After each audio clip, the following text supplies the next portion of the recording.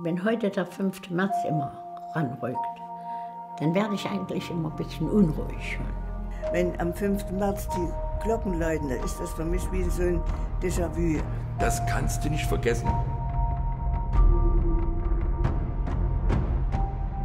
Es gab schon in anderen Städten Bombenangriffe. Du weißt nur, wir kommen alle dran. An dem 5. März war auch mittags schon ein Angriff. Wir hatten dann gedacht, eigentlich für den Tag war es das.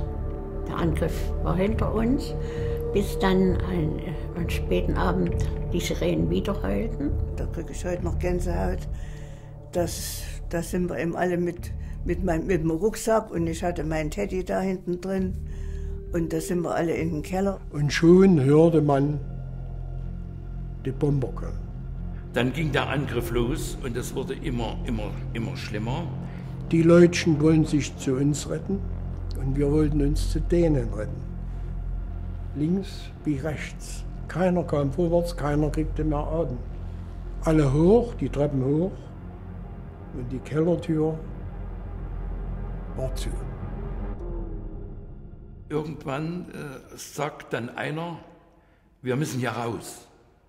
Und nun waren wir erst mal draußen wohin. Jemand sagte, euer Haus brennt auch, braucht ihr gar nicht hingehen. Wir sind kopflos durch die Gegend gerannt. Wissen Sie, wohin wir gegangen sind? Unter eine Brücke. Die standen wir Hausen im Freien, aber die Bomben fielen ja noch. Und erleben Sie das mal als neunjähriger Junge, dass in, um Sie herum die Bomben fallen und Sie wissen nicht, wo Sie vor Angst hin sollen. Dann sind wir über den Borner Berg. Das ist eine ganz schöne, ganz schöner äh, Buckel, will ich mal so sagen. Und oben auf der Spitze, da haben wir dann gesehen, wie Chemnitz gebrannt hat. Das war ja ein Flammenmeer.